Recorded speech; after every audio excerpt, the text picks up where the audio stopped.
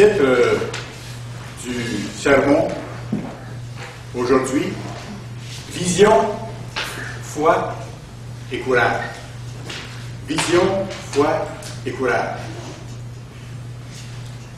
Vous savez, on est déjà rendu au dernier jour de la merveilleuse fête des pains sans levain. Dieu nous a montré plein de choses cette semaine. Dieu a vraiment béni cette fête de façon particulière cette année. J'ai eu de nombreux commentaires là-dessus et on voit les choses qui se passent, on voit les gens avancer, découvrir des choses, être vraiment encouragés. Maintenant, je vous pose une question en commençant mon sermon. La même question que M. Armstrong posait parfois, en commençant certaines fêtes, en particulier la fête des tabernacles. Il disait Savez-vous pourquoi vous êtes ici? Savez-vous vraiment pourquoi vous êtes ici Si oui, dans ce cas-là, vous comprenez le but de l'existence. Vous comprenez le but de l'existence et vous comprenez le but de votre vie personnelle à vous et le but de votre appel. Pourquoi Dieu vous a appelé à faire partie de son Église maintenant? Et ça, c'est une compréhension qui est donnée par Dieu aux appelés qui, une fois qu'ils sont appelés, se mettent en marche pour vivre selon toute parole de Dieu. Parce qu'on sait que plus une personne s'applique à obéir aux directives de Dieu, à sa façon de vivre, plus Dieu lui donne une compréhension grande et profonde. Et chaque année, lorsqu'on célèbre les fêtes, parce que c'est un cycle qui revient, Dieu sait qu'on en a besoin, on approfondit, on apprend davantage et on progresse. Il y a une croissance dans la grâce puis dans la connaissance, comme Paul, comme Pierre dit. Et vous savez, c'est une joie incroyable quand on y pense. Ce qui nous est donné par Dieu, de pouvoir célébrer au printemps ces merveilleuses fêtes, le début de son grand plan. Ça nous révèle en même temps ce que Dieu a en réserve pour chacun de ceux et celles qui sont appelés en ce moment. Qu'un jour, on aura une libération totale, par exemple, de toutes nos limitations physiques. il n'y en a pas beaucoup ici qui n'ont pas certaines limitations physiques. Certains sont plus affectés que d'autres, mais on a tous un certain point des limitations physiques. Mais un jour, on sera libéré totalement de nos limitations physiques. On sera libéré de nos maladies, de nos infirmités. On sera libéré totalement, ça, ça fait rêver, on sera libéré totalement de nos faiblesses spirituelles. On sera capable d'avoir parfaite maîtrise de nos pensées, de nos actions, de nos sentiments, de nos paroles. On n'est pas encore là. Mais c'est vers là que Dieu nous appelle, c'est ce qu'il en réserve euh, pour nous. Et on sera totalement libéré de nos attirances vers le péché. Parce qu'il faut le reconnaître, le péché nous attire. Le péché nous attire. Mais on doit lutter contre ça. Et Dieu en réserve donc cette libération totale-là. Il en réserve pour vous et pour moi, si on persévère jusqu'à la fin, l'immortalité. Une vie qui n'aura jamais de fin. Et il en réserve, dans cette immortalité-là, le fait qu'on pourra être à ce moment-là dans une relation personnelle directe avec le Père et avec son Fils Jésus-Christ. Pourquoi? Parce qu'on pourra les voir exactement tels qu'ils sont. On sera du même niveau d'existence. On sera devenu nous aurons été transformés en êtres totalement spirituels, comme le Père et le Christ sont. Et ce que Dieu en réserve à l'intérieur de ça, c'est qu'on va vivre dans une harmonie parfaite avec eux et avec tous les autres membres de la famille de Dieu. Ça, c'est difficile à imaginer pour des êtres humains limités comme nous et qui avons tendance à pécher et à manquer notre coup, d'imaginer une famille en parfaite harmonie et pour l'éternité. C'est ça qui nous attend. C'est ça que Dieu en réserve pour nous. Une vie d'harmonie totale et une vie où nous allons pouvoir planifier avec Dieu et avec le Christ des projets incroyablement beaux pour le reste de l'éternité. Dans l'univers, on n'a pas de détails, Dieu ne donne pas de détails. Mais Dieu n'a pas créé l'ensemble des planètes, les galaxies, ce grand univers presque infini pour rien. Il y a quelque chose qui attend les fils et les filles de Dieu. Et Dieu dit dans sa parole que nous allons hériter toutes choses. Et ça comprend ces choses-là. Alors Dieu en réserve des années, des années à l'infini de bonheur, d'harmonie parfaite, de création, de développement. Ça va être extraordinaire. C'est ça que Dieu a en réserve pour nous, pour l'éternité. Ça, c'est les bénédictions ultimes que Dieu a pour nous. Des bénédictions sans pareil. Ça, c'est en plus de toutes les bénédictions que Dieu vous a accordées et m'a accordées et qu'il continue de nous accorder, à chacun de nous dans son Église. Qui que nous soyons, jeunes, vieux, riches, pauvres, malades, en santé, euh, ou que nous vivions dans quelques conditions que nous nous retrouvions, quel que soit notre âge, quel que soit notre état de santé, notre situation, nos conditions. Pour Dieu, ça n'a pas d'importance. Parce que Dieu, justement, est en train de préparer une équipe de gens avec différentes expériences, qui auront vécu différentes situations, qui auront vaincu différents, différents obstacles, différentes faiblesses, qui auront passé par différentes sortes de souffrances. Et laissez-moi vous dire que ces gens-là, à ce moment-là, seront entraînés, parce qu'ils auront vécu, pour être capables d'avoir de la compassion pour les êtres humains qu'on va servir et qu'on va enseigner. On pourra se faire comprendre d'eux et on pourra les comprendre. Chacun à partir des choses que nous aurons vécues. Dieu est un Dieu d'ordre, Dieu est un Dieu de sagesse. Il ne fait pas les choses à peu près. Son plan est précis et s'en va vers son terme. Et plus on y pense à nos bénédictions, plus on en voit. Hein. On pourrait faire une liste presque à l'infini. Des fois, on blague, ma femme et moi, des fois on a de la misère à se rappeler des bénédictions qu'on a eues dans les derniers jours, même dans la dernière semaine. Des fois, dans la journée, des fois, je me mets à genoux le soir et j'essaie de faire une petite liste pour dire à Dieu merci, tel chose, tel chose, tel chose. J'en oublie encore, tellement il y en a eu. Si on fait attention, là, ils sont là, partout. Des fois, c'est des grandes, mais des fois, c'est des grandes cachées dans des petites. Mais c'est aussi lieu. Parce que c'est des interventions de Dieu. Pareil, c'est des miracles de Dieu. Et c'est important que nous nous rappelions de ces choses-là, que nous les apprécions et que nous le disions à Dieu. Parce qu'on est des êtres humains. Je vous apprends bien là. On est des êtres humains. Et les êtres humains ont tendance à oublier facilement. Même les bonnes choses. Même les bonnes choses qui nous arrivent. Même les bénédictions de Dieu. On a tendance à l'oublier. On a tendance aussi, comme à les prendre pour acquis. Quand ça fait un bout de temps qu'on a des bénédictions, on se sent comme porté par la vague, on dit bon, ça va être comme ça. C'est comme si ça nous était dû un peu, là. Et qu'on a moins besoin de remercier, ça vient comme automatiquement. Attention, Dieu veut qu'on apprenne à être reconnaissant dans toutes les circonstances. Et c'est pas parce qu'il y a plusieurs bénédictions de suite que automatiquement j'ai plus besoin de remercier Dieu, de le reconnaître, d'apprécier. Tout ça me vient de lui. Faut que je continue à l'apprécier, à apprécier la valeur de tout ce que le Tout-Puissant a fait pour moi, fait pour moi actuellement, et va faire dans le futur, parce que je le sais qu'il va me bénir dans le futur, à cause de ses promesses, à cause de ses promesses infaillibles, comme on a vu. Vous savez, quand on regarde nos ancêtres, on a beaucoup de choses à apprendre de nos ancêtres. Et là, je parle des Israélites qui ont sorti d'Égypte. Comme eux, euh, nous pouvons parfois avoir tendance à remettre nos yeux sur ce que nous aimerions avoir. Eux autres, c'est ça qu'ils ont fait. Après qu'ils ont été partis, à un moment donné, ils ont regardé en arrière, ils ont dit on avait des, choses qu'on aimait finalement en Égypte. Ok, on était maltraités, mais il y avait des choses qu'on aimait, la vie n'était pas euh, si terrible que ça. Et l'esprit humain étant ce qu'il est, nous avons tendance à embellir le passé, à mettre des choses plus roses que c'était à, ce moment-là. Et comme nos ancêtres dans ce sens-là, on a tendance à remettre nos yeux sur ce que nous aimerions avoir, à tourner nos yeux vers nous-mêmes au lieu de garder les yeux sur Dieu, et de dire, continue à me montrer ce que je dois changer.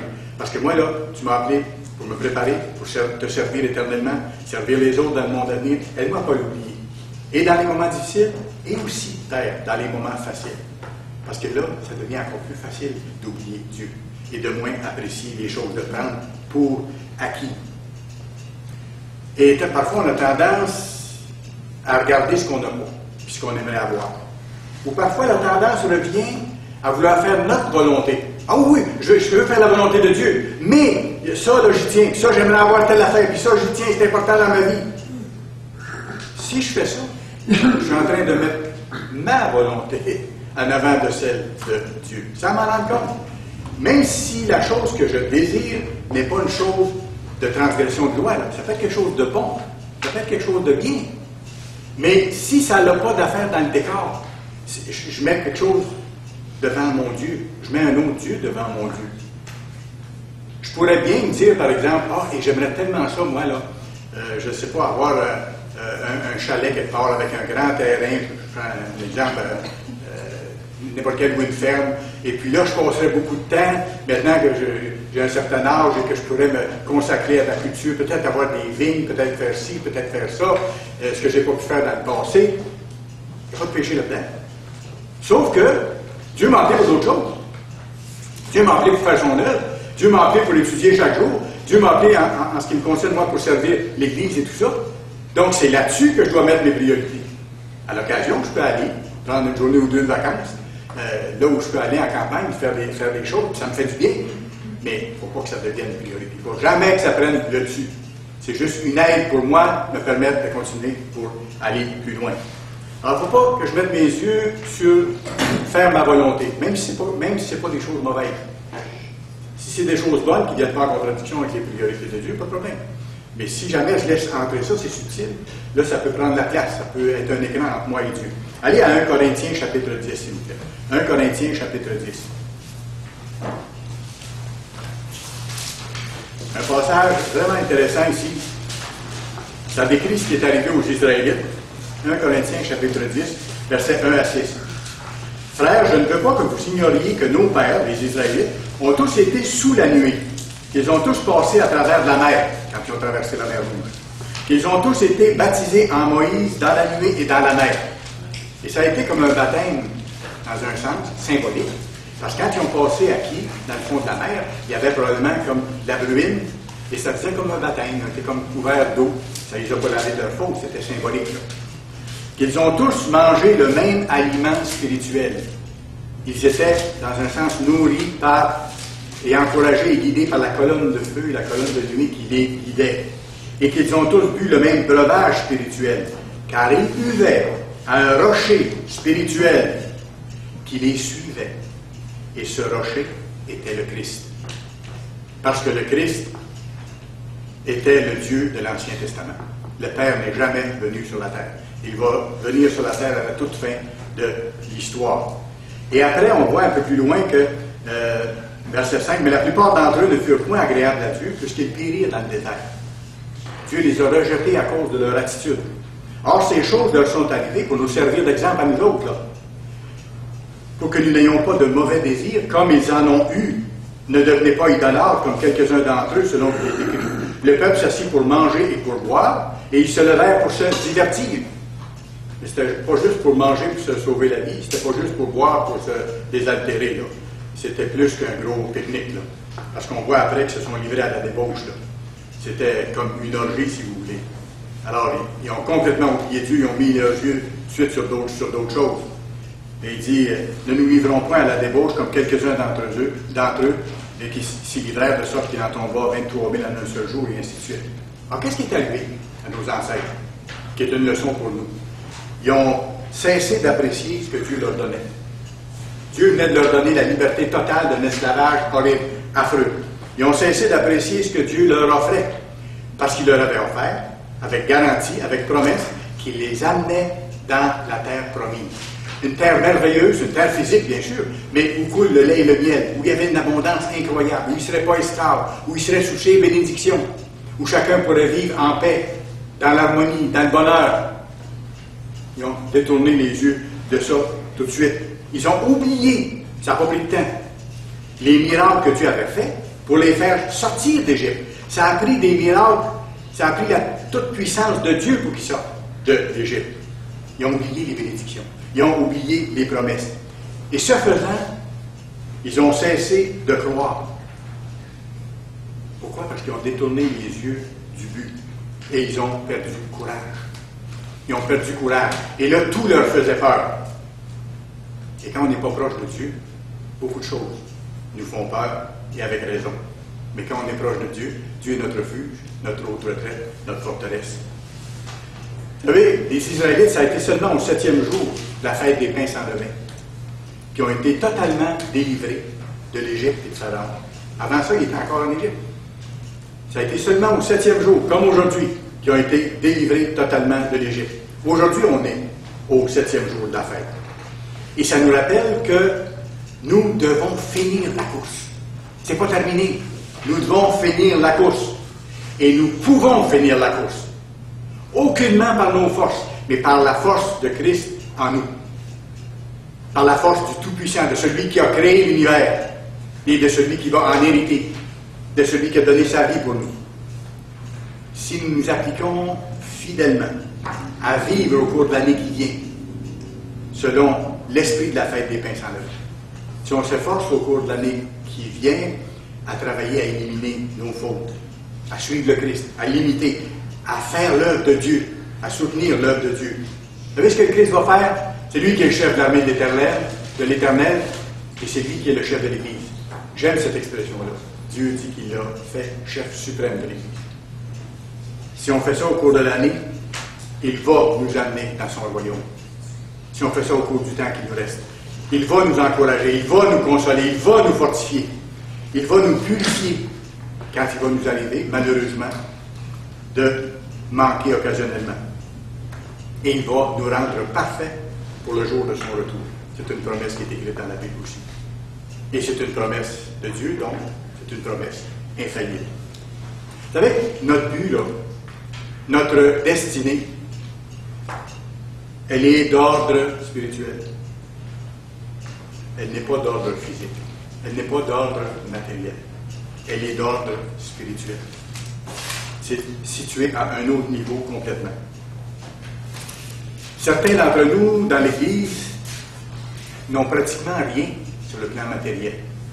C'est vrai. On a des frères et des sœurs dans l'Église, dans différents coins du monde, qui ont des situations vraiment difficiles. Mais Dieu les appris. Et Dieu travaille avec eux. Et Dieu les bénit. Même ici, il y a des gens qui sont dans des situations très difficiles. Et si les gens sont fidèles, Dieu les bénit, Dieu les aide à passer à travers, et Dieu va les aider à passer à travers.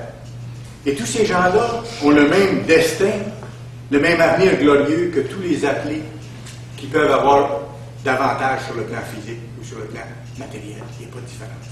Il n'y a pas de différence. Mais Dieu fait ça dans un but précis. Je l'ai souligné tantôt. Dieu va avoir dans son équipe des gens de toutes sortes d'expériences.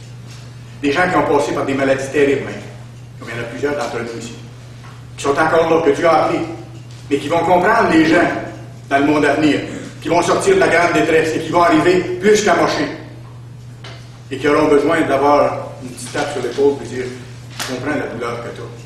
J'ai déjà vécu ça.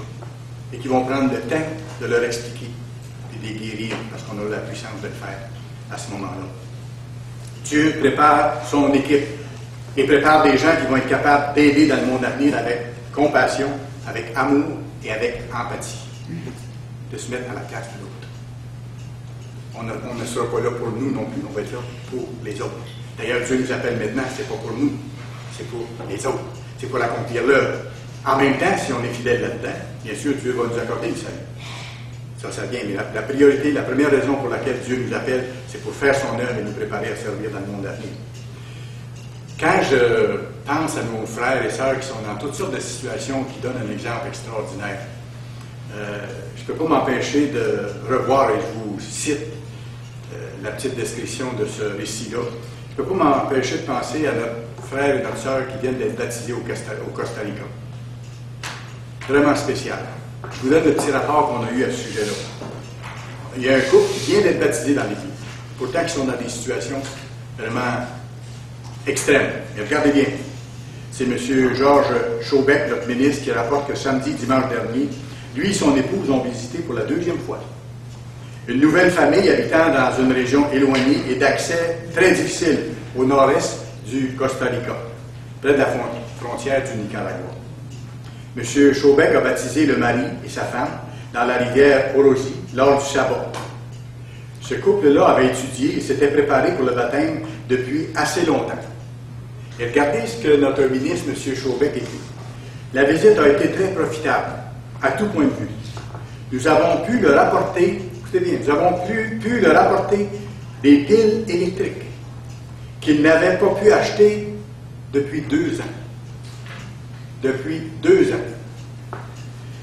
Deux années pendant lesquelles ils n'ont jamais écouté la radio ou regardé la télévision. Dieu appelle des gens dans toutes sortes de situations incroyables. Il les aime autant, tous les uns les autres, quelle que soit leur situation. M. Chaubert dit, j'ai donné un sermon de préparation pour la part et les jours des pains sans lever. Comme on a eu, même chose, c'est la même église, le même enseignement, le même but. Cette famille, il continue, cette famille est vraiment extraordinaire dans ses convictions et dans l'éducation de leurs enfants. Cependant, ils vivent dans la pauvreté car le père a perdu une récolte entière de fer et ils n'ont pas les moyens d'acheter quoi que ce soit. Pas les moyens d'acheter quoi que ce soit. Nous leur avons apporté des présents et de la nourriture. Ils se nourrissent uniquement de fer et de yucca, car ils ne peuvent se permettre davantage. Malgré tout cela, ils sont fidèles à la loi de Dieu. Ils sont fidèles à la loi de Dieu. Quel exemple touchant. Ça, c'est une partie aussi importante de l'équipe de Dieu qui est en préparation que ceux qui vivent dans les pays bien entiers ou qui sont dans l'abondance. Même chose, même chose. Parce que Dieu a en vue pour chacun d'entre nous le même but, mais il nous prépare par des chemins différents et il nous bénit dans les conditions là où nous sommes et il nous donne d'apprendre certaines choses en fonction des choses que nous allons devoir faire dans le monde à venir. Certains autres dans l'Église possèdent davantage, bien sûr, et vivent dans des conditions pas mal moins difficiles ou moins précaires. J'ajoute une chose, pour le moment. Pour le moment. Car tout peut changer d'un jour à l'autre. D'un jour à l'autre. Et tout va changer bientôt et rapidement. Tout va changer bientôt et rapidement. Dieu révèle à ses serviteurs les choses qui doivent arriver. Ce n'est pas pour rien que M. Meredith nous prépare dans ce sens-là plus fortement dernièrement, parce que des choses majeures se dessinent à l'horizon. D'ailleurs, il faut se préparer à ça, hein. spirituellement, accumuler l'esprit maintenant, travailler avec l'esprit de Dieu, avoir la bonne priorité, supplier notre Dieu de nous transformer, être fidèle dans les petites choses, dans les grandes choses. Faut se préparer spirituellement et mentalement aussi. Mentalement aussi pour le jour où ça va arriver. Il faut se préparer, dans ce sens-là, à renoncer à tout ce que nous avons. Même aux choses bonnes. Même aux choses que nous aimons. Allez à Genèse chapitre 13, s'il vous plaît. Genèse chapitre 13.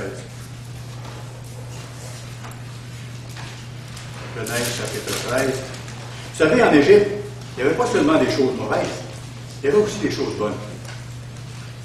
Il y avait un bon climat, il y avait une terre très fertile, de d'huile en particulier, nourriture en abondance. Et ici, dans Genèse 13, vous avez l'épisode où Lot et Abraham doivent se séparer parce qu'ils sont tellement tous les deux dans l'abondance que leurs bergers ont des problèmes avec les troupeaux et tout ça. Alors ils décident de se séparer. Et regardez ici la comparaison que Dieu fait concernant l'Égypte. Genèse 13, verset 10.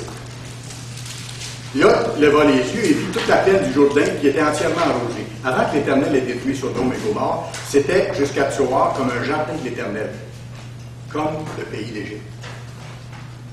Alors oui, euh, même Dieu inspire ici euh, l'auteur du livre de Genèse de dire que l'Égypte était prospère, avait certaines conditions intéressantes, et il la compare un peu euh, dans ce sens-là, à ce niveau-là, pas à d'autres niveaux, mais à ce niveau-là, euh, au jardin d'Éden, qui était productif, où il y avait de la, végétation et une possibilité de, de, bonne agriculture. Alors, il n'y avait pas seulement des choses mauvaises, donc, en Égypte. Allez à Genèse 47, un peu plus loin. Genèse 47. Quand Israël et sa famille sont allés habiter en Égypte, ils ont été bien accueillis par le Pharaon. Le Pharaon faisait partie de la dynastie de ceux qu'on appelle les rois bergers. Et euh, Israël a trouvé grâce à leurs yeux. Ce n'étaient pas des gens violents à ce moment-là. Et regardez, Pharaon, qu'est-ce qu'il leur a donné à Joseph et à sa famille? Genèse 47, versets 5 et 6. 5 et 6. Pharaon dit à Joseph, Ton père et tes frères sont venus après toi. Le pays d'Égypte est devant toi. Établis ton père et tes frères dans la meilleure partie du pays. Dans la meilleure partie du pays. Donc le pays était beau à ce moment-là. Non seulement ça, mais Israël a eu la meilleure partie. Mais, Mais, et là je mets un grand mais, ce n'était pas là leur destination finale. C'était juste temporaire. Un peu comme nos nations israélites qui ont reçu les bénédictions d'Abraham tellement abondamment dans nos pays israélites. Ce n'est pas notre destination finale. C'est pour ça que Dieu dit ne vous attachez pas à ces choses-là. Il y a d'autres choses qui s'en viennent. La vraie vie est plus tard. Le vrai monde à venir, ce n'est pas une supposée abondance que vous pourriez avoir maintenant. Ce n'était pas leur destination finale, ce n'était pas la terre promise. C'est comme pour nous présentement. Notre destination finale, ce n'est pas le monde actuel. Même dans les pays ou les, les endroits où il y a une certaine paix, une certaine abondance. Vous savez, le danger pour les chrétiens qui vivent dans ces conditions-là, c'est un, de s'appuyer sur cette abondance-là. De dire, bon, ça va continuer. C'est de se sentir à l'abri, alors qu'on est à l'abri nulle part. Quand les choses vont tourner, les choses vont tourner. Que ce soit dans un pays d'abondance ou un pays qui n'est pas dans l'abondance. Quand Dieu va retirer ses bénédictions totalement des nations israélites, les choses vont changer. Le danger, c'est de ne pas se hâter, nous, de changer spirituellement. Ceux d'entre nous qui sont dans des conditions faciles encore. Parce que c'est aussi sérieux et aussi urgent de terminer notre préparation et d'être proche de Dieu, d'être proche de Dieu, d'être proche de Dieu. De sorte que quand Dieu va tirer la manette et que les choses vont se mettre à vraiment s'accélérer, on sera prêt. On sera prêt.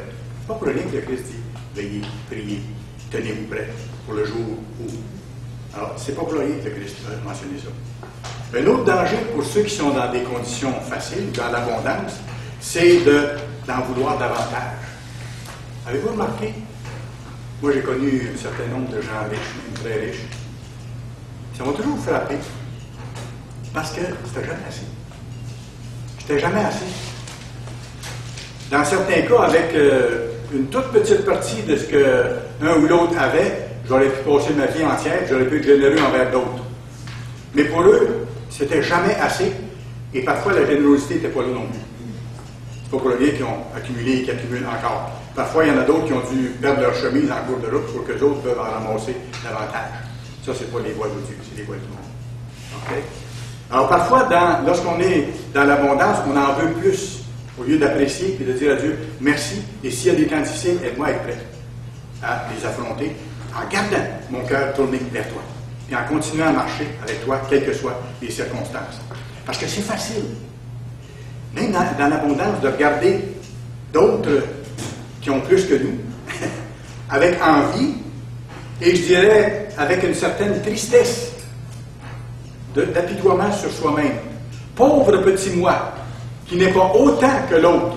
J'en ai au-delà de ce que je mérite, parce que si j'avais ce que je mériterais, je ne serais même pas là. J'en ai au-delà de ce que je peux mériter. Alors, je n'ai pas à envier personne, ni à être triste. J'ai demandé à Dieu, donne-moi la force, donne-moi la vision, le courage, donne-moi la, la foi pour te plaire. Te plaire tout le temps, puis me rendre au royaume pour te servir éternellement. Parfois, on aura tendance à, dire, bon, quelqu'un a plus d'argent que moi, quelqu'un a plus de santé que moi, quelqu'un a un emploi, moi j'en ai pas. Quelqu'un a un meilleur emploi que moi. J'aimerais ça changer. Quelqu'un a un conjoint, une conjointe, moi j'en ai pas, j'aimerais ça me, me, marier. Et si ça devient une, une, priorité et que ça dérange notre cheminement avec Dieu, comprenez-vous que ça devient comme un autre Dieu devant la face de l'Éternel? Et là, parfois, on va se dire, ben, pourquoi lui ou pourquoi elle a tout ça? Et moi, je n'ai pas autant. Pourquoi? Pourquoi? Moi, j'essaie de servir Dieu. Moi, je fais de mon mieux, j'observe le sabbat, euh, je donne mes offrandes. Si je travaille, je paye mes dîmes. Et j'ai des difficultés, j'ai des problèmes, j'ai des épreuves. Vous savez, la vieille expression, hein? L'herbe est toujours plus verte chez le voisin dans la prairie du voisin. Et maintenant, on a tendance à faire ça. Mais il faut faire attention. Il faut apprécier ce qu'on a, mais pas se comparer aux autres. C'est ça que on insiste tellement dans la Bible pour dire ne pas se comparer aux autres. Parce que si on fait ça, on commence à se tourner vers soi-même, on commence à perdre de vue le vrai but, les vraies bénédictions que Dieu nous donne, puis notre besoin de changer, puis de compter sur Dieu pour les vraies choses. Parce que si c'est important que vous ou moi, nous ayons telle ou telle bénédiction sur le plan matériel ou sur le plan physique, Dieu va vous le donner. Si ce n'est pas important pour vous, si ça peut être même un piège, Dieu va vous protéger. David, je pense c'est lui qui a demandé à un moment donné dans un psaume, donne-moi pas trop pour que je t'oublie, mais fais que j'ai assez pour pas que je me détourne de toi. C'est une demande simple qu'on peut faire à Dieu. Autrement, on perd de vue le but, on perd de vue la foi, la vraie vision et le courage. Quand quelqu'un a plus que nous, vous savez ce que la culture de Dieu nous montre à faire, par l'Esprit de Dieu? Nous réjouir. Réjouissez-vous avec celui qui se réjouit. Réjouissez-vous avec celui qui a des bénédictions. Merci, mon Dieu, qui t'a béni un tel, même s'il n'est pas dans l'église, ou même une telle, et ainsi de suite. Merci, mon Dieu. Et après ça, demander à Dieu, nous, la chose première. C'est pas d'avoir une nouvelle voiture, c'est pas d'avoir telle chose, c'est pas de. C'est de faire sa volonté. C'est de faire sa volonté. Et plus que ça, je vais plus loin. de le remercier d'avance de sa réponse, quelle qu'elle soit. Parce que lui sait quelle est la meilleure réponse qu'on doit avoir. Si vous êtes capable de remercier Dieu d'avance de ce qu'il va faire pour vous, c'est que vous faites une totale confiance à Dieu et vous. Je peux dire merci à Dieu d'avance. C'est ça qu'on ne doit pas se comparer aux autres d'aucune façon. Mais être reconnaissant envers Dieu pour ce qu'il nous donne. Allez à Psaume 73. C'est un psaume qui nous aide beaucoup dans ce sens-là. Psaume 73.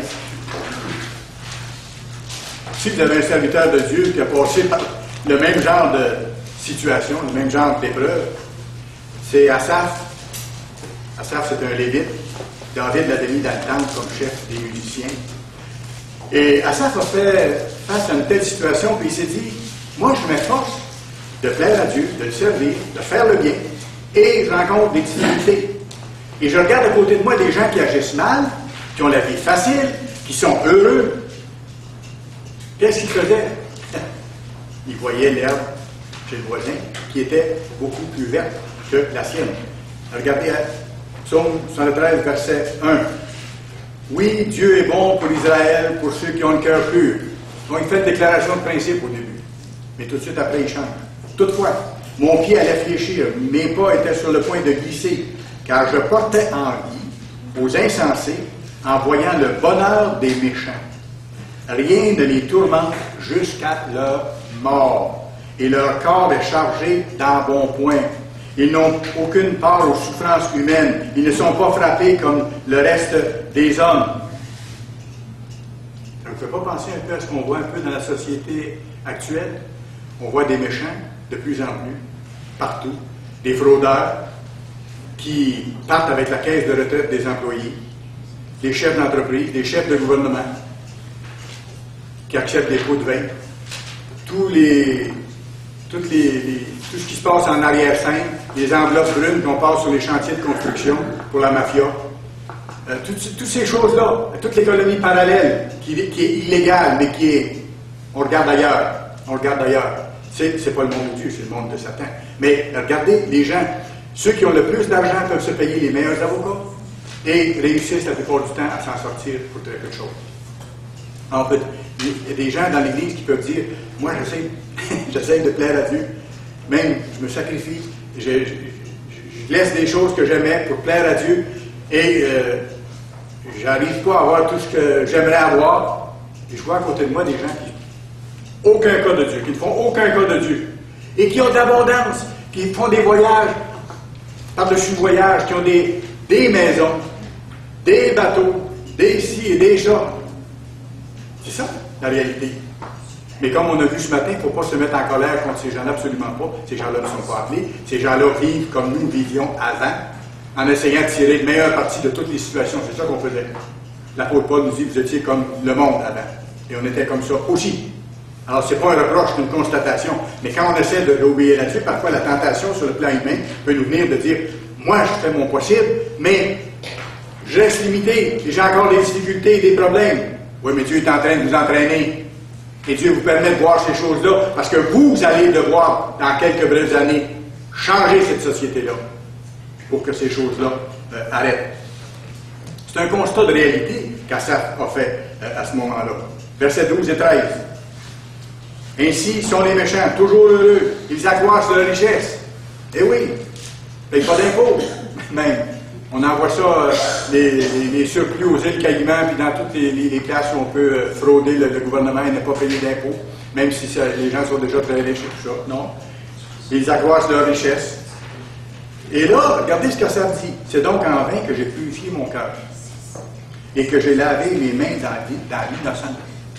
Chaque jour, je suis frappé. Tous les matins, mon sentiment est là. Alors, voyez-vous, ça, c'est un raisonnement humain dans lequel il faut faire attention de ne pas tomber. Pour rien que Dieu permet que ce soit écrit là. C'est pour notre enseignement. Oui, on a des épreuves, oui, il y a des obstacles, oui, il y a des, des choses difficiles à changer. Et il y a des choses qui sont humainement difficiles à comprendre. Mais regardez le verset 17. Non, verset 16. Ce qu'Assaf dit, à un moment donné, Assaf a réfléchi. Verset 16. Quand j'ai réfléchi là-dessus pour m'éclairer, pour comprendre ce qui se passe dans le monde, mais à la lumière des explications de Dieu sur cette société qui n'est pas la société de Dieu, et avec les yeux sur la société de Dieu qui s'en vient bientôt. Quand j'ai réfléchi là-dessus pour m'éclairer, la difficulté était grande. Ce pas évident au point de départ. Jusqu'à ce que j'ai pénétré dans les sanctuaires de Dieu et que j'ai pris garde au sort final des méchants. Faut voir la fin du film, comment tout ça va se terminer. Ceux qui sont justes et qui persévèrent dans la justice brilleront comme les étoiles et vont former le prochain gouvernement mondial justement pour changer les choses. Et ceux qui continuent à être impurs et à faire le mal vont toujours progresser plus loin. Ils vont en souffrir et vont faire souffrir d'autres. Ils auront leur chance, mais dans le monde à venir. Absolument. Alors, dans le fond, ce qu'Assar dit ici, c'est que j'ai commencé à comprendre le grand plan de Dieu, puis la réalité des choses, puis que même si l'herbe, elle est effectivement véritablement plus verte chez le voisin, ça ne doit pas m'inquiéter, ni me tourmenter, ni m'amener à, réagir comme ça. Il faut que je vois la fin de l'histoire, puis moi, c'est quoi mes responsabilités? Pour plaire à mon Dieu, puis me rendre jusqu'au bout. Dans le fond, Assaf dit, j'ai commencé à comprendre quand je me suis mis à genoux. Quand je me suis mis vraiment à genoux. Quand je me suis rapproché de mon Dieu, quand j'ai renforcé mes rapports avec lui, quand j'ai demandé, quand j'ai lu sa parole, quand j'ai jeûné, j'ai demandé à Dieu, montre-moi. J'ai jeûné peut-être plusieurs fois, que mon ami, les choses se sont éclairées. Là, j'ai vu les bénédictions de Dieu, j'ai vu son plan, et j'ai réalisé plus clairement ce que fait mon grand Dieu. Et vous pourrez lire plus loin, versets 18 à 22, 23 à 28. 23, 28, on peut peut-être le lire. Cependant, je suis toujours avec toi. Tu m'as saisi par la main. Tu me conduiras par ton conseil, puis tu me recevras dans la gloire. Vous pourrez lire le restant. Voilà l'avenir glorieux qui est réservé aux fidèles serviteurs de Dieu qui vivent en ce moment dans toutes sortes de circonstances. Parfois faciles, parfois difficiles, parfois euh, un peu un mélange des deux. Ne pas se comparer aux autres, même si vraiment l'herbe est plus verte de l'autre côté. Suivre la voie que Dieu m'a montrée. Ça, c'est ma responsabilité. Puis laisser tout le reste, laisser tout le reste entre les mains de Dieu. Laisser tout le reste entre les mains de Dieu. Ça, c'est la foi. Ça, c'est la foi. Et c'est la perspective. Et quand on fait ça, le courage est là aussi. Le courage est là aussi. C'est pour ça que j'ai appelé mon sermon aujourd'hui perspective ou la vision, la foi, le courage. Ça vient de Dieu si je suis proche et si je m'efforce de faire sa volonté. Vous savez, à un moment donné, on l'a vu dernièrement dans plusieurs sermons, à un moment donné, les Israélites ont été coincés entre la mer Rouge et Pharaon et son armée. Et ça semblait préférable d'être en Égypte à ce moment-là. Vrai ou faux? Vrai. Ça semblait préférable. Sur ce point-là, l'herbe était beaucoup plus verte, elle était haute du côté de l'Égypte, parce que ça ne regardait pas bien. Parce que Pharaon s'en venait, puis c'était pas pour faire une petite fête avec eux, c'était pour autre chose. L'herbe semblait plus verte de l'autre côté, c'était vrai. Mais c'était vrai, je précise, à l'œil humain. C'était vrai à l'œil humain. Selon la logique strictement humaine. Il y a une logique humaine, mais elle ne fait pas beaucoup de kilométrage. L'Esprit de Dieu, lui, montre le chemin et donne d'avoir des chemins tout tracés dans le cœur lorsqu'il arrive des situations comme ça. Si nous laissons le Tout-Puissant nous aider. Autrement, l'herbe semble plus verte, ce serait préférable d'être en Égypte si on élimine Dieu de l'équation, si on ne considère pas que Dieu est là, qu'il a un plan, qu'il est tout-puissant et qu'il a promis à ses enfants de les mener à terme. Ça fait toute la différence. Exode 14. Exode 14. On va retourner dans ce passage-là, ça vaut la peine pour ce que je veux vous montrer aujourd'hui. Exode chapitre 14, regardez le verset 6 à 8. Et Pharaon attela son char, et prit son peuple avec lui, et il prit 600 chars d'élite, et tous les chars de l'Égypte. Il y avait sur tous les combattants. L'Éternel endurcit le cœur de Pharaon. J'arrête ici. C'est pas pour rien que Dieu a endurci le cœur de Pharaon. Peut-être que Pharaon de lui-même aurait laissé faire. Si Dieu prend la peine de dire qu'il a endurci le cœur de Pharaon, c'est parce que Dieu avait dans son plan une autre visée là-dedans. Beaucoup plus grande. Comprenez-vous? Il n'a pas laissé Pharaon faire ce qu'il voulait. L'Éternel a endurci le cœur de Pharaon, roi d'Égypte, et Pharaon a poursuivi les enfants, euh, d'Israël. Bon. Verset 10, un peu plus loin. Pharaon approchait. Les enfants d'Israël levèrent les yeux, et voici, les Égyptiens étaient en bas derrière eux. Et les enfants d'Israël eurent une grande frayeur et crièrent à l'Éternel. Horreur, horreur, humainement parlant, ils percevaient très bien la situation réelle du moment. Vous voyez, j'ai fait une faute. Ils percevaient très bien la situation réelle du moment. Quand nous nous trouvons dans une épreuve, une situation difficile, ce serait tellement plus facile hein, d'être ailleurs. Moi, ça m'est déjà arrivé de penser à ça, puis de me rappeler, me rappeler le passage où David dit, je pense que c'est David qui dit ça, Ah, si j'avais des ailes, comme l'oiseau, je m'envolerais, je sortirais d'ici. Je ne serais plus dans la même situation. C'est ça. Mais Dieu permet qu'on soit dans certaines situations parce qu'il est en train de développer ce qu'il veut développer en nous. Lui, il voit plus loin, il voit le, grand plan. Ça, il faut l'apprendre, puis le laisser faire. Dire à Dieu, je ne sais pas comment ça va sortir, je ne sais pas ce qu'il était en train de faire, mais donne-moi une chose. Dans cette situation-là, donne-moi de faire ta volonté. On revient toujours à ça. On revient toujours à ça. Exode 14, versets 11 et 12. Et dire à Moïse, n'y avait-il pas de sépulcre en Égypte, sans, en Égypte, sans qu'il soit besoin de nous mener mourir au désert? Que nous as-tu fait? Ainsi de suite. N'est-ce pas là ce que nous te disions en Égypte, laisse-nous servir les Égyptiens? Euh, et ainsi de suite. J'attire votre attention sur un fait. Je ne sais pas si vous êtes déjà arrêté à penser à ça, mais Moïse était lui-même dans la même situation terrifiante que les Israélites. Moïse, le chef, celui qui les conduisait, était dans la même situation. Et vous ne pensez pas que Pharaon puis son armée quand il aurait traversé pour les rejoindre, qui aurait fait une fête à Moïse, ça aurait été le premier qui aurait rejoint il aurait payé pour. Il aurait passé à la caisse enregistreuse. Pas à peu près. Alors, est-ce que Moïse avait raison ou aurait eu raison d'avoir peur, lui aussi, de craindre? Versets 13 et 14. Regardez ce que Moïse a fait. Qu'est-ce qu'il a répondu? Moïse a répondu au peuple, ne craignez pas, restez en place et regardez la délivrance que l'Éternel va vous accorder en ce jour. Car les Égyptiens que vous voyez aujourd'hui, vous ne les verrez plus jamais. L'Éternel combattra pour vous et vous gardez le silence. Comptez sur Dieu. Comptez sur Dieu. C'était quoi la différence entre Moïse et les Israélites? Moïse était proche de Dieu. Moïse était proche de Dieu. Il était en relation avec lui. Il était centré sur la puissance de Dieu, non pas sur la puissance de Pharaon, sur la puissance de Dieu. Et même s'il y avait une impossibilité comme situation, il savait que Dieu allait l'en sortir. Il y avait une vision. Et cette vision-là lui donnait la foi et le courage nécessaires. Il savait que Dieu allait régler les choses. Vrai ou faux? Vrai. Il savait. Mais il y a un autre point là-dessus que je veux vous amener. Il ne savait pas comment. Pensez-y un peu. Il ne savait pas comment Dieu allait faire. Il y avait l'océan sur un côté, la mer, il y avait l'armée en arrière. Humainement parlant, selon la logique, encore là strictement humaine, il n'y en a pas de solution. Mais pour Dieu, il n'existe pas de solution sans solution. OK? Alors Moïse savait que Dieu allait faire quelque chose, mais il ne savait pas comment. Mais ça ne l'a pas dérangé. Il a dit restez tranquille, attendez. Le Dieu, dans le fond, il disait le Dieu qui a fait les dix miracles, qui nous a emmenés jusqu'ici, là. Il n'a pas emmené jusqu'ici pour rien.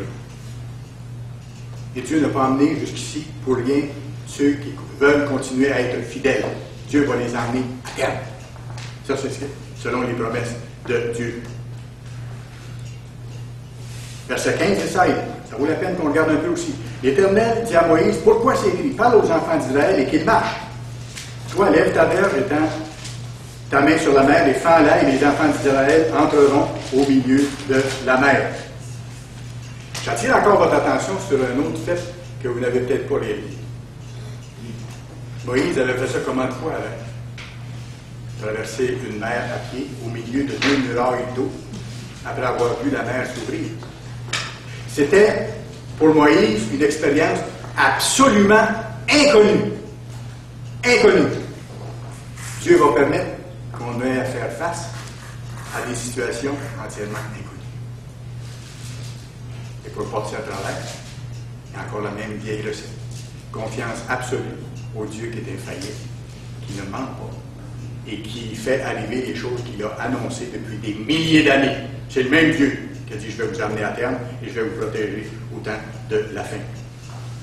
Nous, nous sommes guidés par le Saint-Esprit, comme Moïse. Les Israélites n'avaient pas le Saint-Esprit, mais Moïse avait le Saint-Esprit.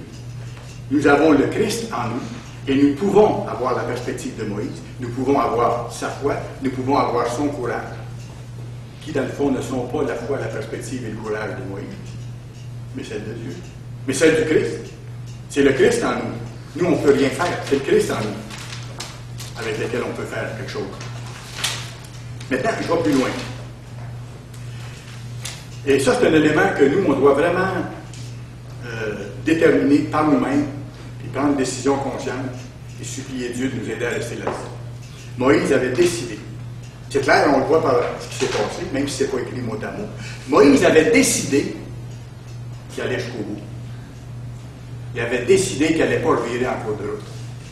Qu'il n'allait pas faire faux bon au grand Dieu des cieux qui avait ouvert tout ce chemin-là, qui avait amené tout ce peuple immense jusque-là à travers une série de miracles incroyables. Et nous devons déterminer de garder vivant notre engagement du baptême, de tenir bon, d'aller jusqu'au bout, d'être fidèle, quelles que soient les circonstances autour de nous. Je sais que c'est le cas pour tous les baptisés ici. Le ministre vous a expliqué, comme ça a été le cas pour moi lorsque j'ai été baptisé il y a longtemps. On nous a montré les conditions pour suivre le Christ. Il fallait être prêt à renoncer à tout et à suivre le Christ, à être proche de lui, à faire sa volonté et à se préparer pour le monde à venir. Maintenant, on est rendu à une étape qui est beaucoup plus turbulente. On entre dans une période de grande turbulence. Et maintenant, plus que jamais, on doit être déterminé à aller jusqu'au bout. Mais pour être capable d'aller jusqu'au bout, c'est pas notre force, c'est le Christ en nous. Et c'est pour ça qu'il faut être tellement proche de lui. On entre dans ce que j'appelle une période particulière de turbulence. Il y aura des persécutions. Il y aura des persécutions contre l'Église et contre les fidèles serviteurs de Dieu. Et laissez-moi vous dire quelque chose. Chacun de nous, chacun des membres de l'Église devra être solide lui-même et elle-même spirituellement. Nous ne pourrons pas compter sur la solidité d'un autre membre de l'Église. Chacun devra être solide spirituellement, personnellement. Chacun devra être tout proche de Dieu, avoir la foi, le courage et le zèle du Christ en nous pour terminer l'œuvre et pour nous préparer à régner. Vous savez, le temps approche où il y aura beaucoup de pression autour de nous, où il y aura beaucoup d'opposition. Le Christ l'avait dit à un moment donné quand il a dit Je ne suis pas venu apporter la paix sur la terre. Ça, c'est lors de sa première venue. Quand il va revenir très bientôt, là, il va venir établir la paix, son gouvernement, la paix, les lois de Dieu. Mais la première fois, il est venu pour donner sa vie et pour donner l'enseignement et donner la mission à ses serviteurs de prêcher l'Évangile, d'annoncer ce qui s'en venait et de préparer un peuple qui soit bien disposé. Et on a cette responsabilité-là, selon le commandement de Dieu, d'annoncer la bonne nouvelle jusqu'à la fin. Alors viendra la fin. Pas, pas avant. Mais il y aura beaucoup de pression autour de nous, beaucoup d'opposition. Et comme le Christ a dit, je ne suis pas venu pour apporter la paix sur la terre, mais la division. Alors il y aura de l'opposition tout proche autour de nous. Il faudra être sage, être rempli de respect, mais en même temps être très solide et vouloir aller jusqu'au bout. Dans les temps difficiles, il faudra déjà être ferme. J'ai marqué le mot déjà, puis je l'ai souligné. Il faudra déjà être ferme. Quand les temps vraiment difficiles vont venir, ce ne sera pas le temps de commencer à vouloir être ferme. Il faudra l'être. Comme quand une compétition sportive de haut niveau arrive aux Olympiques, par exemple, il faut que l'athlète soit déjà entraîné. Ce n'est pas le moment d'aller sortir les poids et la terre pour dire Moi, j'aimerais être un haltérophile et me présenter. Euh, non, je pense que ça ira pas. C'est la même chose sur le plan spirituel, absolument pareil. Et malheureusement, comme on voit dans la Bible, quand ces choses-là vont arriver, certains vont abandonner la vérité. Certains vont abandonner la vérité. Le Christ l'a dit. Ils se trahiront, ils se haïront les uns les autres. Certains vont se retirer pour éviter d'être montrés du doigt. Certains vont se retirer pour, pour éviter d'être la cible de grandes critiques, d'accusations, de moqueries, comme ils ont fait avec le Christ. Le Christ dit, si on fait ça à, moi, attendez-vous qu'ils vont faire ça à, vous euh, aussi. Et certains vont sans doute vouloir être laissés tranquilles pour ne pas avoir de problème. Et ceux-là vont probablement vouloir faire la paix, s'associer à la bête et aux faux prophètes. S'associer à la bête et aux faux prophètes. Oui, parce que pour un temps, ce sera plus confortable pour un temps très, très, très, très, très limité. Si c'est confortable. Si c'est confortable. Vous savez, quand on a été baptisé, ce qu'on a fait, et le ministre l'a expliqué aussi, vous pourrez lire dans Luc 14, verset 26 à 33, on a fait une déclaration de guerre à Pharaon, au Pharaon de ce monde, au petit Dieu qui est en charge pour le moment encore de la planète. On a déclaré la guerre à Satan. Et lui ne nous lâchera pas. Mais le Tout-Puissant ne nous lâchera pas non plus si nous avons cette détermination et si nous nous tenons proches de lui. Alors certains vont vouloir faire la paix avec la bête et le faux prophète. Et ça va être attirant parce que le faux prophète va faire des prodiges incroyables. Mais regardez comment le cœur de l'homme est tortueux. Certains seront prêts à croire aux faux prodiges annoncé d'avance dans la Bible, par un faux prophète qui annonce le contraire des lois de Dieu, sont prêts à le croire lui, alors que les Israélites au désert avaient vu les vrais miracles du vrai Dieu pour les amener réellement ailleurs et qu'ils ont cessé de croire après, après quelques semaines. Voyez-vous comment le cœur de l'homme est tortueux? C'est incroyable quand on compare euh, les deux. Alors certains vont se joindre à la bête et au faux prophète et vont se joindre au grand troupeau. Vont quitter le tout petit troupeau. Et je regardais les chiffres euh, dans un article récent. Si vous prenez tous les catholiques, tous les protestants, tous ceux qui sont euh, d'obédience chrétienne, c'est 2 milliards, quelques cent millions sur la planète. Et en passant, je peux vous dire que ce n'est pas le petit troupeau. Certains vont quitter le petit troupeau, vont fuir des circonstances difficiles. Hébreu 11. Hébreu 11. Regardez un exemple extraordinaire qu'on a pour nous là-dedans. Hébreu chapitre 11. Exemple de Moïse encore. C'est intéressant, on peut appliquer différents aspects de la vie de Moïse, de comment il a agi, euh, ce que Dieu a fait avec lui, à nous. Moïse a fait exactement le contraire. Il n'a pas cédé. Moïse a fait le contraire. Hébreu 11, verset 24 à 27. C'est par la foi que Moïse, devenu grand, refusa d'être appelé fils de la fille de Pharaon. Écoutez, il avait tous les privilèges. C'était un très haut placé dans le pays. C'était un général d'armée, donc très riche aussi. Position enviable, un homme reconnu, respecté. Abandonne tout ça pourquoi? Parce qu'il a vu autre chose. Comme Abraham qui a vu la cité de Dieu qui allait venir plus tard, même pas de son vivant, longtemps, longtemps après, et qui a fait ce qu'il avait à faire et qui sera debout pour sa récompense au bon moment. Moïse a fait le même choix. Il a refusé d'être appelé fils de la fille de Pharaon. Et qu'est-ce qu'il a choisi à la place, Moïse? Il a préféré être maltraité avec le peuple de Dieu plutôt que d'avoir pour un temps la jouissance du péché. Et si on regarde en arrière, si Moïse avait choisi la jouissance d'être en Égypte et de poursuivre Dieu, ça n'aurait pas duré longtemps. Il, serait mort pareil aujourd'hui, ça serait terminé. Sauf qu'il n'y aurait pas de récompense dans le royaume. Voyez-vous? Ça change tout, hein? Les choix sont tellement importants. Verset 26, il regarda l'opprobre de Christ comme une richesse plus grande que les trésors d'Égypte. Le Christ a été rejeté, mais à cause de la grande richesse qu'il avait que les gens ne comprenaient pas. Nous, il nous donne de la comprendre, la richesse de son sacrifice, la richesse de notre responsabilité avec la promesse qu'il nous donne de nous transformer, de nous donner d'éliminer nos fautes. Car il avait les yeux fixés sur la rémunération. C'est par la foi qu'il quitta l'Égypte, sans être effrayé de la colère du roi. Et nous aussi, le jour viendra où il y aura colère du roi, où il y aura colère autour. Il ne faudra pas être effrayé, mais continuer de respecter Dieu. La vraie crainte, c'est la crainte de l'éternel, ce n'est pas une peur. C'est par la foi qu'il quitta l'Égypte sans être effrayé de la colère du roi, car il se montra, quoi? Ferme, comme voyant celui qui est invisible.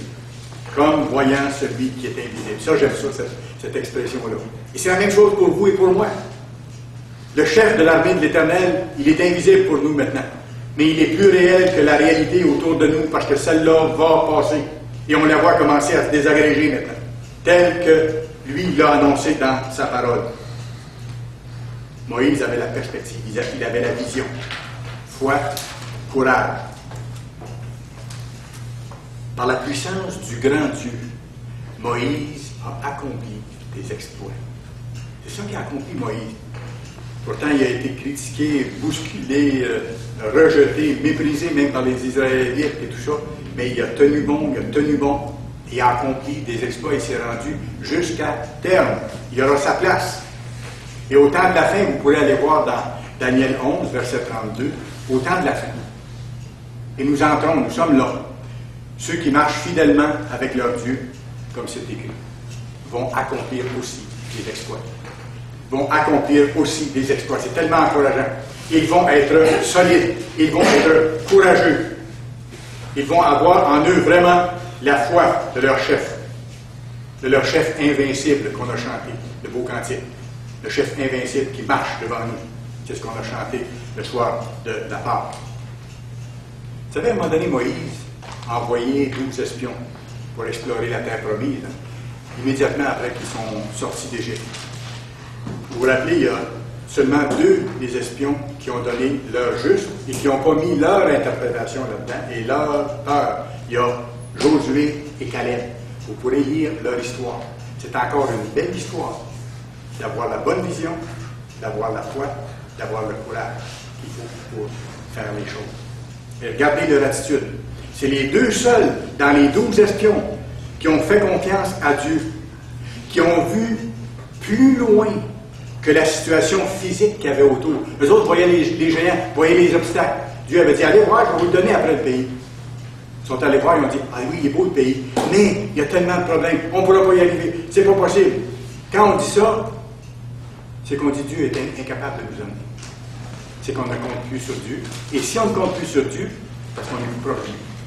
Parce qu'on n'est pas proche de lui. On a perdu la perspective. Et quand on perd la perspective, quand on perd la vision, on perd aussi la foi, et on perd aussi le courage. Et on dit, il a des géants. C'est trop gros pour moi, je n'y arriverai pas. C'est vrai que vous ne pouvez pas y arriver, moi non plus. Mais par la puissance de notre chef invincible, nous pourrons y arriver. Eux, les deux seuls espions à avoir fait confiance à Dieu, ont vu au-delà de la situation qui était présente. Ils ont vu, dans le fond, mettons ça en ces termes-là, au-delà de la mer Rouge. C'est ça. Ils ont vu au-delà de l'armée de Pharaon, pour. Ils ont eu le courage parce qu'ils étaient convaincus que Dieu allait leur donner le pays. Il avait dit. Ces deux-là avaient vu les miracles que Dieu avait faits. Ça rappelait. C'est le même Dieu qui leur dit Allez visiter le pays, je vais vous le donner. Faites simplement rapport sur ce qu'il y a, puis après ça, je vais vous envoyer, puis vous allez le remporter. Eux, eux se rappelaient les miracles que Dieu avait faits. C'est le même Dieu, hier, aujourd'hui, étonnamment. Il va le faire. Il nous l'a dit. Alors pour eux, ça ne posait pas de problème. Même s'ils ne savaient pas, comme Moïse, comment Dieu allait faire. Même s'ils ne savaient pas comment Dieu allait faire. Ils étaient certains que ça allait se passer comme ça. Ils ont vu les obstacles, ils ont vu les dangers, mais ils ont considéré en premier la puissance de Dieu, les dix miracles. Ils ont eu à, l'esprit la vision de la terre promise, que ça allait leur être donné en héritage. C'était une promesse de Dieu, donc aucun doute. ça va arriver. Résultat, qu'est-ce qui est arrivé? Les Israélites sont morts au désert. Hein? Les dix autres sont morts aussi. Résultat pour les deux qui ont été fidèles à Dieu, qui ont gardé la bonne perspective, qui ont eu la foi, le courage, ils ont été épargnés. Ils ont continué à vivre. Ils sont entrés en terre promise. Ils ont été bénis. Et plus que ça, c'est qu'il leur a été donné dans la terre promise un super territoire, superbe, spécial pour leurs deux, à cause de l'attitude de fidélité, de foi, de confiance au grand Dieu qui avait donné l'ordre qu'ils aillent explorer le pays. Formidable. Et vous savez quoi? Vous êtes comme ces deux espions-là. Je suis comme ces deux espions-là. Par le Saint-Esprit qu'on a en nous.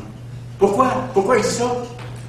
Parce qu'actuellement, et depuis que nous avons été appelés, nous explorons la terre promise. Comment je peux dire ça? Parce que j'ai vu dans la Bible la description du monde à venir.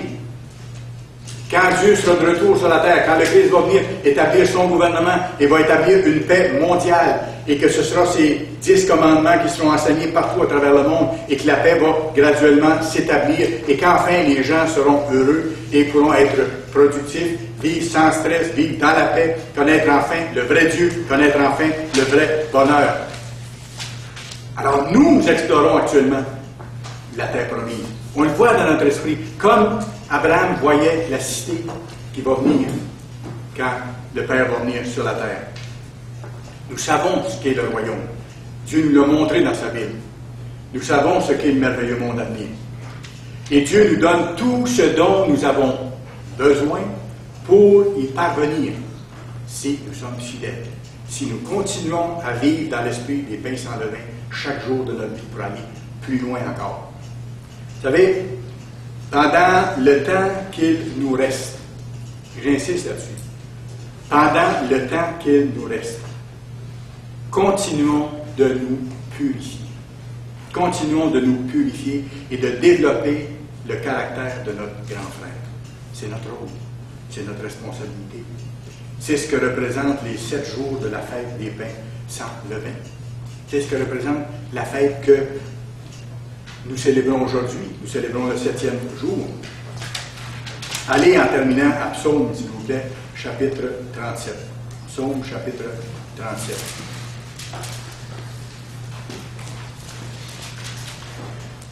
On va lire à partir du verset 1. Ne t'irrite pas contre les méchants. On a parlé de ça tantôt. Hein? Alors Dieu revient avec ça. Laissez le monde être le monde. Ne condamnez pas, ne vous irritez pas contre ce qui se fait. N'envie pas ceux qui font le mal, car ils sont fauchés aussi vite que l'herbe, même si pendant un bon bout de temps ils sont dans l'herbe très verte, et qui ont de l'embonpoint, et qui ont beaucoup de richesses, et que leurs plans réussissent. Car ils seront fauchés aussi vite que l'herbe, et ils se flétriront comme le gazon vert. Verset 3. Confie-toi, toi qui es appelé maintenant, confie-toi à l'Éternel et pratique le bien. C'est ça. Confie-toi à l'Éternel et pratique le bien. Aie le pays pour demeure et la fidélité pour pâture. Et dans le texte original, c'est Aie le pays pour demeure et nourris-toi de la fidélité de Dieu.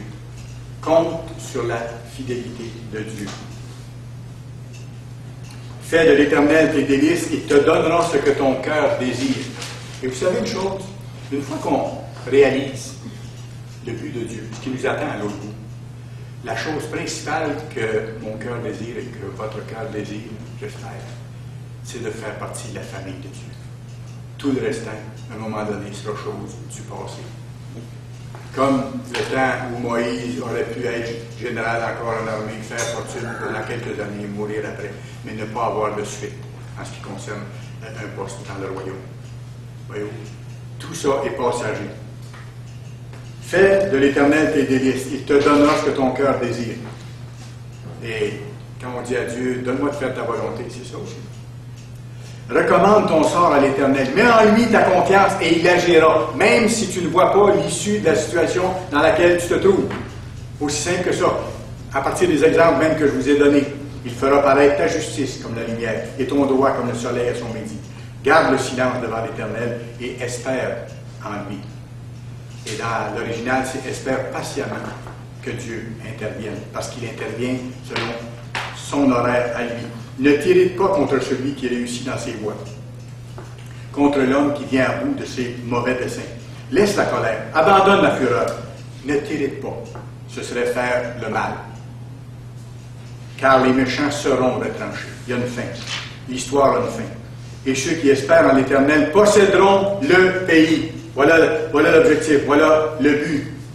Tu regardes le lieu où il était et il a disparu. Les misérables possèdent le pays et ils jouissent abondamment de la paix. Ça, c'est le royaume de Dieu établi. Et ceux qui étaient considérés comme des misérables, ou ceux qui luttaient, ceux, qui étaient faibles, mais qui suppliaient leur Dieu de leur donner la force et qui ont resté fidèles, Dieu les a amenés à terme. Vous savez, à un moment donné, il faut faire comme Josué. Hein? Il y avait des gens autour de lui qui étaient moitié là, moitié ailleurs, moitié dans le monde, moitié avec euh, le groupe de Josué et tout ça. Et Josué m'a intéressé d'aller. Il dit, moi et ma maison, on va servir l'Éternel. Branchez-vous. Ou bien vous servez l'Éternel, ou bien vous allez servir et, et, en bout de ligne, c'est exactement le même scénario pour nous aujourd'hui. Moi et ma maison, je sais que nous allons servir l'Éternel. Dites ces choses-là, que ce soit que ça vienne du cœur, demandez à Dieu de vous donner cette détermination-là. On achève aujourd'hui des jours de fête formidables. C'est vrai que Dieu a béni abondamment pendant ces jours-là. Et il nous a amenés plus loin encore, comme il fait chaque année. Et il nous encourage et il nous fortifie par ces fêtes. Si nous laissons le Christ vivre de plus en plus en nous, qu'on lui demande, qu'on se met à genoux chaque jour, qu'on dit donne-moi ta force, t'en as besoin, et on a besoin de son esprit chaque jour, et on doit le renouveler chaque jour. Certains ont prétendu qu'il avait supposément reçu l'esprit à un moment donné et qu'il n'avait plus besoin de rien faire vu qu'il avait l'esprit. Il y avait l'esprit. Non, il faut demander chaque jour, il faut insister. Parce que la Bible dit très bien, n'éteignez pas l'esprit. Ne faites pas mourir la présence de l'esprit en vous, mais ranimez le don que vous avez reçu, comme Paul dit, par l'ébullition de mes mains. Utilisez le Saint-Esprit et demandez, cette puissance-là chaque jour pour vous approcher de Dieu, pour être solide sur vos deux pieds. Et si on laisse le Christ vivre de plus en plus sa vie en nous comme ça, nous avons sa vision en nous, nous avons sa foi en nous, nous avons son courage en nous. Et c'est par sa puissante présence en nous qu'il va nous amener jusque dans son royaume éternel.